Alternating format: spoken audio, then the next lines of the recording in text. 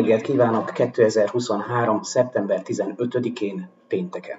Kegyelem nekünk és békesség. Istentől, ami mennyei atyánktól, és ami Urunktól, az Úr, Jézus Krisztustól, a Szentlélek közösségében.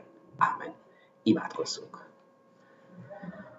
Mindenható mennyei édesatyánk, megköszönjük neked, hogy ennek a hétnek az utolsó munkanapjához érkezhettünk,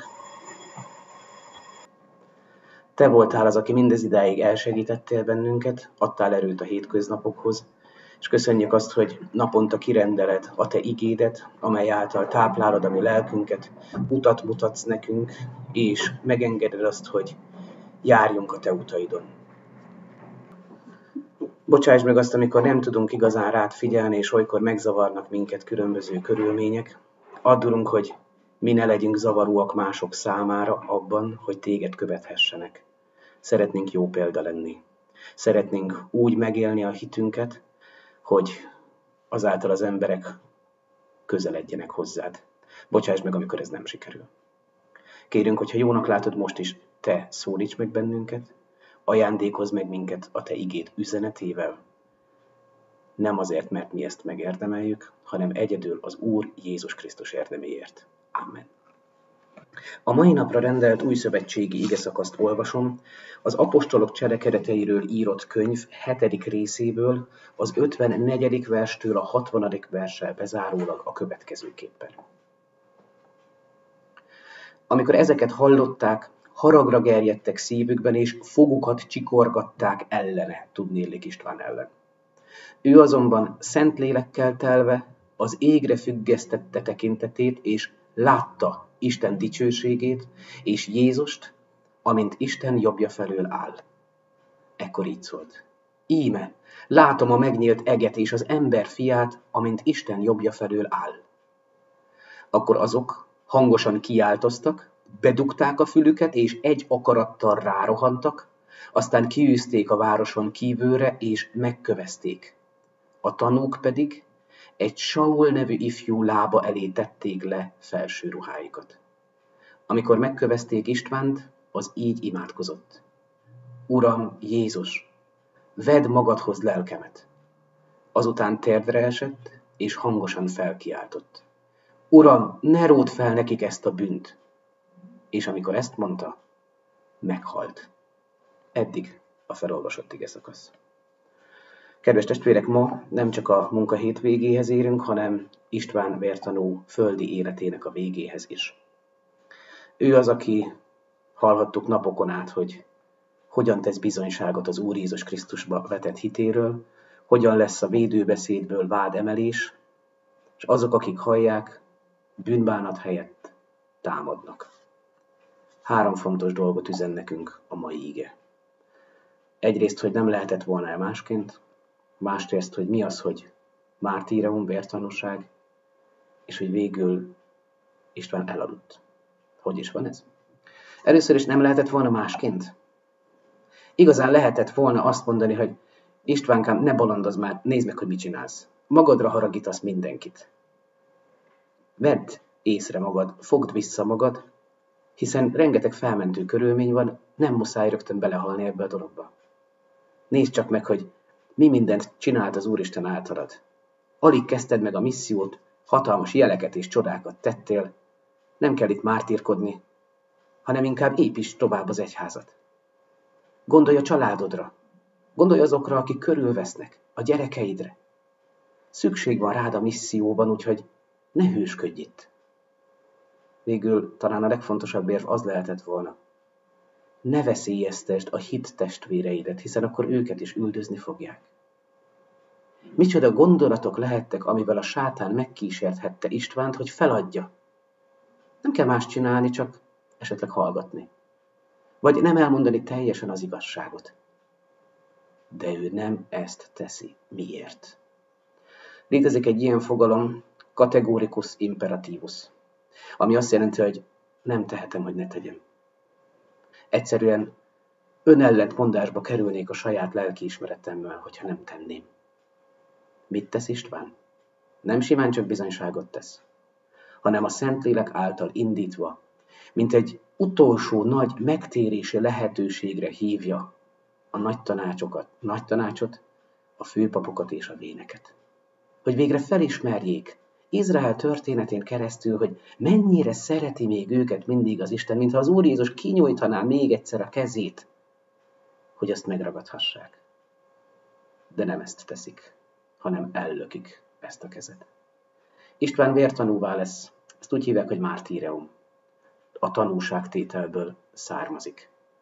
Ez az egyetlen olyan eset, amit részletesen leír a Biblia. Nem véletlenül. Ugyanis sokszor az egyház elkövette azt a hibát, hogy a mártírokat nagyobb rangra emelte, mint kellett volna. Sőt, akár szentekké avatta és ehhez hasonlók. A Biblia ellentétben ezzel csak István vértanúval foglalkozik részletesen, ott is úgy, hogy 53 versen keresztül István ige hirdetését halljuk, és csak 6 vers szól arról, hogy hogyan halt meg.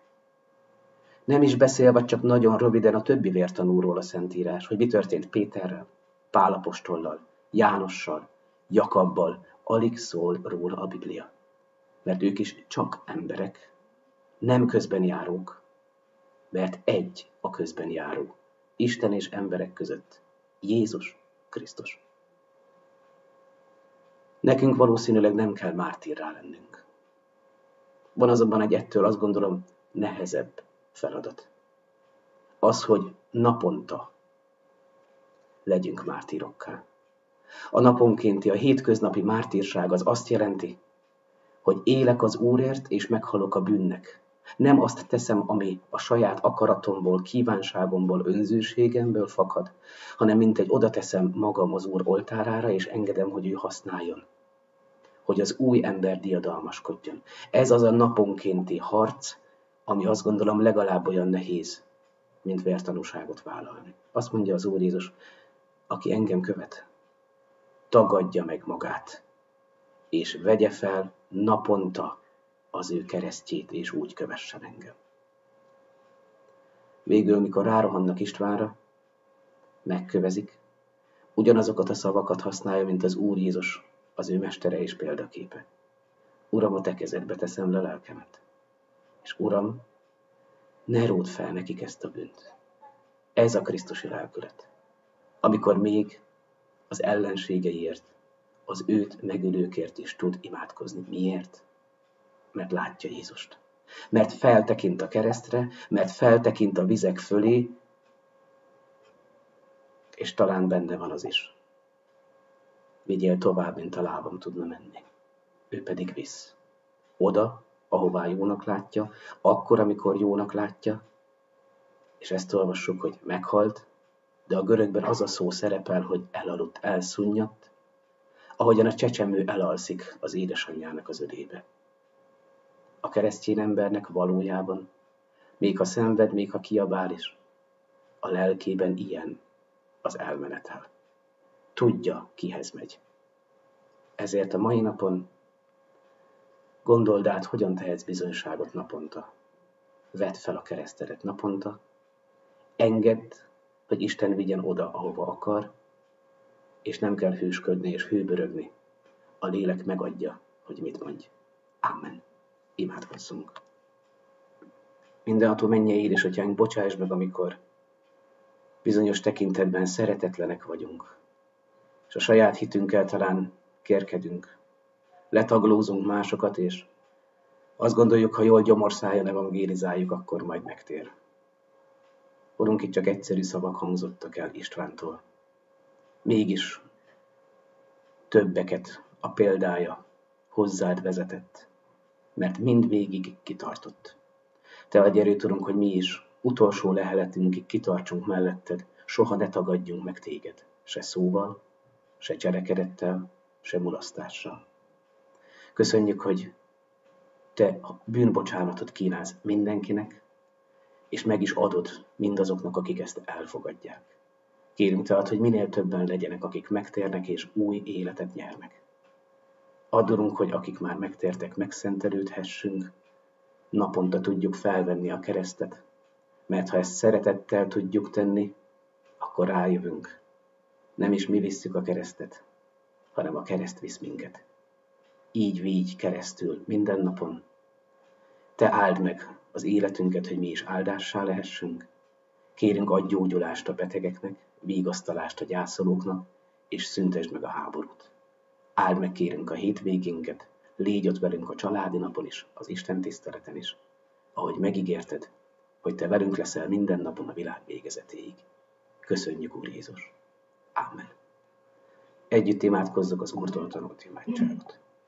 Mi, Atyánk, aki a mennyekben vagy, szenteltessék meg a Te neved. Jöjjön el a Te országod. Legyen meg a Te akaratod, amint a mennyben, úgy a földön is. Minden napi kenyerünket add meg nekünk ma, és bocsáss meg védkeinket, miképpen mi is megbocsájtunk az ellenünk védkezőknek.